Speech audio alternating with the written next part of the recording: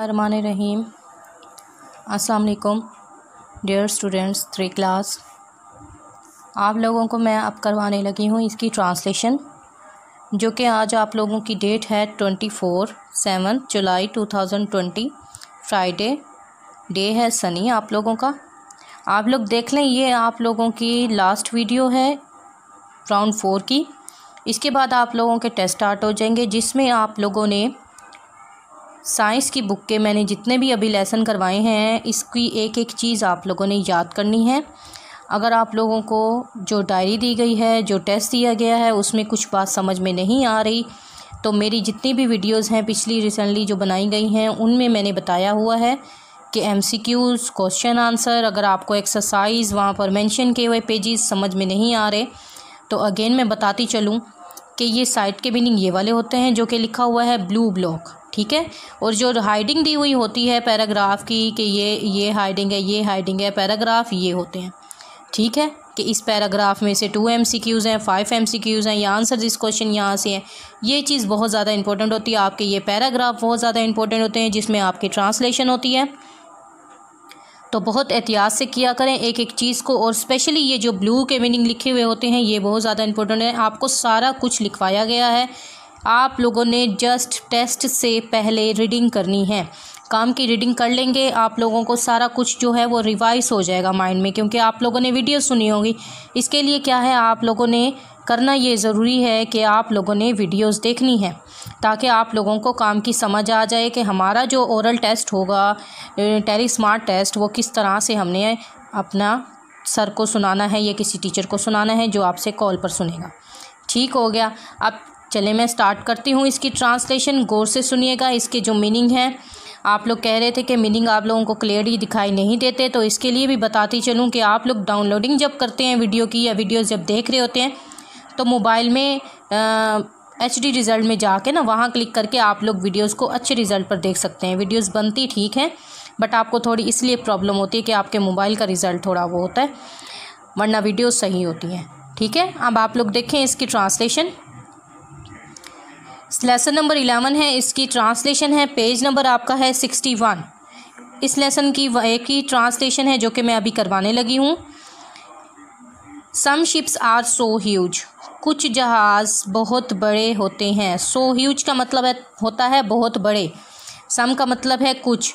कुछ जहाज़ बहुत बड़े होते हैं। It seems amazing that that they flow it seems ये दिखाई देते हैं। ये दिखाई देते हैं या नज़र आते हैं? ये दिखाई देते हैं या नज़र आते हैं? अमेजिंग का मतलब होता है हैरान कन। अमेजिंग हैरान कन। अमेजिंग हैरान कन। डैट दे फ्लोट जब ये तैरते हैं। अब देखें ट्रांसलेशन खुद ब खुद बन गई इस लाइन की। कुछ जहाज़ बहुत बड़े और तैरने में बहुत हैरान कन नज़र आते हैं। ईवन ईवन का मतलब होता है हत्ता के। ईवन हत्ता के। इफ़ अगर। हत्ता के अगर a ship is made of heavy iron हती के अगर एक जहाज़ भारी लोहे से बना हो।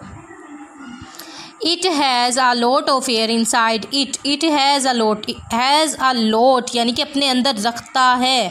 ऑफ़ एयर इनसाइड इट अपने अंदर क्या रख रहा है आप? वो हवा रख रहा है। इनसाइड का मतलब है अंदर। लॉट बहुत ज़्यादा। अपने अंदर वो एक हवा रख, एक नहीं सॉरी अपने अंदर वो हवा, बहुत सी हवा रख रहा है। हती कि एक जहाज़ भारी लोहे से बना होता है। ये अपने अंदर बहुत सी हवा रखता है। हैज़ का मतलब मैं यहाँ पर ले रही हूँ, रखता, रखते रखते। यहाँ पर हैज़ आएगा, रखता है। This makes the ships less dense than water dense आएगा डेंस का मतलब होता है कसाफत। वो तो डेंसिटी होता है, ये किसका भी कसाफत ही लेंगे, ये जहाज़ों को कम वज़नी बनाता है। डेंसर डेंस का आएगा वज़नी। डेंस लेस डेंस कम वज़नी। वाटर पानी सो इट्स फ्लोट जिसकी वजह से ये तैरते हैं। जिससे ये तैरते हैं। अब क्या चीज़ हवा जहाज़ों को कम वज़नी बना रही है, इसमें देखिएगा।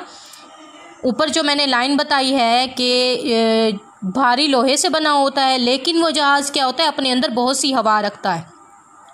फॉर एग्ज़ाम्पल देखते हैं, एक बलून होता है, हल्का सा होता है बाहर से बट ये क्या है, अपने अंदर हवा रख रहा होता है। अगर इसको पानी में डालेंगे, पानी में फेंकेंगे तो ये क्या होगा, ये तैरने लग जाएगा, पानी की सतह पर तैरने लग जाएगा। क्या होगा, इसकी वजह क्या होगी?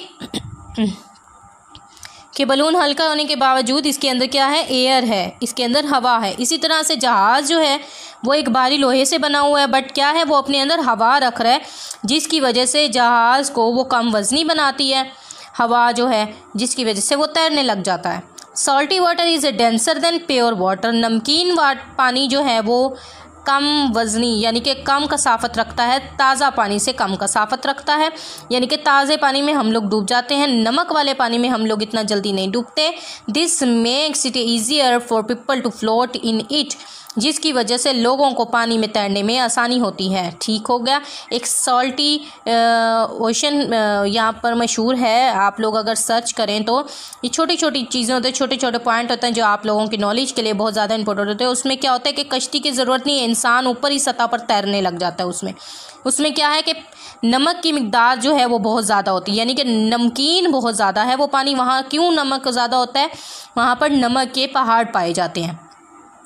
जिस तरह पर यहाँ पर होते हैं ना दरिया में, समंदर में ये छोटी छोटी माउंटेंस बनी हुई तो वहाँ पर नमक की ये माउंटेंस बनी होती हैं, जिसकी वजह से पानी जो है वो बहुत ज़्यादा सॉल्टी होता है और लोग जो हैं वो इसकी सतह पर तैरने लग जाते हैं।